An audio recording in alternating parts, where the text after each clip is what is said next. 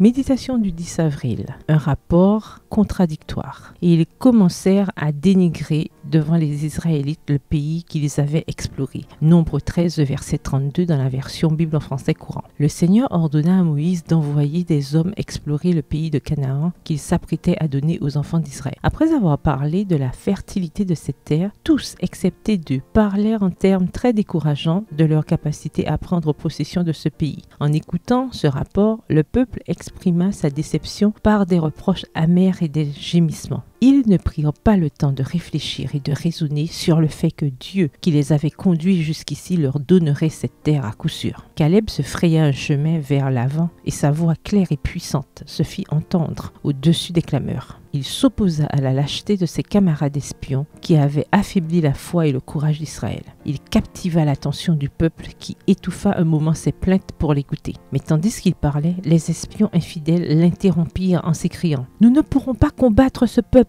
car ils sont plus forts que nous !⁇ S'engageant dans une mauvaise voie, ces hommes élevèrent leur cœur contre Dieu, contre Moïse et Aaron et contre Caleb et Josué. Chaque pas fait dans cette mauvaise direction les rendait plus fermes dans leur intention de décourager toute tentative de prendre Canaan. Ils déformèrent la vérité afin de réaliser leur dessein funeste. Ils présentèrent le climat de Canaan comme étant malsain et tous ses habitants comme des géants invincibles. Ce rapport était non seulement mauvais mais aussi mensonger. Il était contradictoire car si la terre était malsaine et avait dévoré ses habitants, comment se faisait-il qu'ils aient pu atteindre cette stature? Lorsque des hommes occupant des postes à responsabilité cèdent à l'incrédulité, il n'y a pas de limite à leur progression dans le mal. Même si les deux hommes avaient présenté ce mauvais rapport, mais que les dix autres avaient encouragé le peuple à prendre possession de la terre au nom du Seigneur à cause de son incrédulité et de sa méchanceté,